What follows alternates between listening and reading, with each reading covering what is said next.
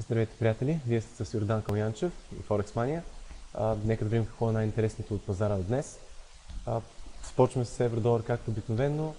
Тук вече нещата изглеждат малко повече в полза на идеята, за която говорим в миналите 2-3 клипчета.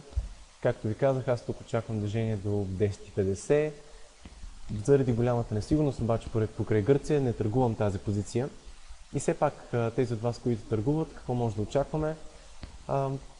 Така, вече този триъгълник успя да върне цената в неговата зона. Сега обаче става твърде очевидно за това, че сценария за покачващо евро до 15,50-16 е много, много малко вероятен и все повече хора ще започват да го продават, т.е. може би ще наблюдаваме някаква по-рязка корекция а, при евро-долар или ако не е рязка, то поне по-дълбока.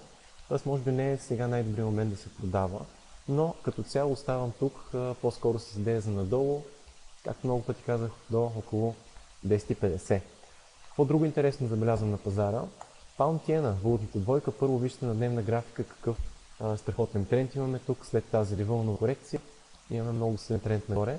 На 4 часа виждаме, че пълзящите средни са вършили прекрасна работа в опазване на тренда и като цяло много рядко имаме някои изтървано дъно или изобщо корекции. И сега на един час има една консолидация, най-вероятно някакъв тригълник трябва да е това, макар че вече вълничките му стават доста повече. Все пак аз разчитам, че тук може да има реално още спад на така да с намерен риск и цвета даже може да не е, не е само връх, даже може да се гонят цени и над 196, така че позицията може да се каже с, съотношение 1 към 3, 1 към 4. Разбира се, някой да купят на маркета тези от вас, които избират търговията тренда. Това съвсем накратко е най-интересното от днес. Тези две конкретни идеи. Също може да хвърляте по едно око на евроавстралийски, където имаме продължаваща корекция, вече може и тук по на тегълник, но в някой, някой момент най-вероятно ще видим поскъпващи цени. И идеята от че паунд канадски не се развива толкова добре, честно казано. След като видяхме клиентите, виждаме и а, цени над нея, което е нещо доста лошо, но може би ще говорим за това в бъдеще.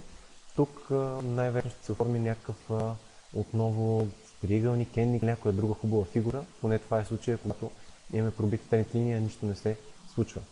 Така че ще ви държим в течение всеки ден от 3 за най-интересното, което не виждаме на Форекс пазара.